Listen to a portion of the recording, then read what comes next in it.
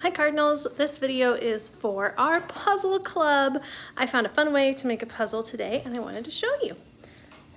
So I started with a Raisin Bran box, but first thing I did was look at a cereal box and think, hmm, what would make a good picture? So when we're done with this one, I think I'm gonna use this big um, diamond shape here and just cut that out. But you could also take like the bottom of this and that would make a pretty good picture or even the top. And then I ended up making two puzzles out of the same box. So this picture was on one side, this other picture was on the other. And then I thought I had this box left, what could I do? So I taped up the end and uh, made it a little storage device which Etta likes putting things in.